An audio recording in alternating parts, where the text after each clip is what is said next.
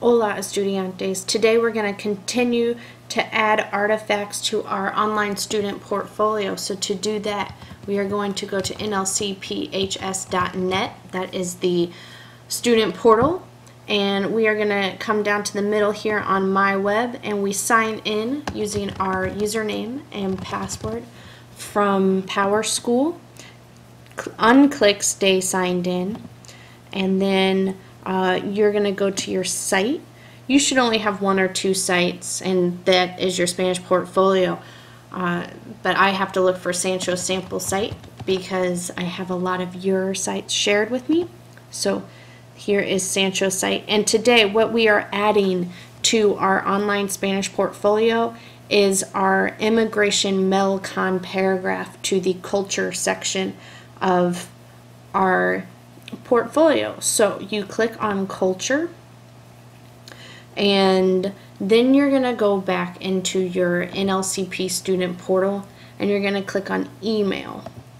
Now you on Monday were assigned to email me your Melcon paragraph so you should click in your sent mail and you should see your paragraph that you have emailed me as an email in your sent file. So just highlight your paragraph and copy it.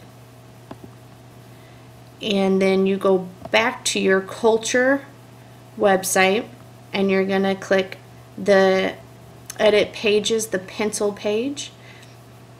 And here you're going to put your paragraph between the targets and your day of the dead paragraph. So give yourself a little space and then paste your paragraph. And you can highlight it on uh, on your website and make it a little bit more a little bit bigger a little bit easier to see. I'll put mine at 16 point font. And then make sure you click save. And there is my paragraph about immigration on my culture uh, culture page of the Spanish online portfolio. So when I'm done with that, I'm going to, and I'm done making my changes, I'm going to make sure I sign out. All right. Thank you.